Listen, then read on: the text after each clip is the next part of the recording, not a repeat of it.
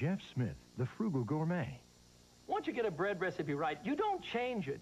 So people were surprised when I switched to Red Star Quick Rise yeast. You see, Quick Rise was developed to be the fastest rising all-natural yeast. It rises 50% quicker than regular yeasts, even quicker than Fleischmann's Rapid Rise, without changing my recipes. Red Star Quick Rise yeast. Why wait for great results? Now with Quick Rise, I'll have enough time to write a whole library.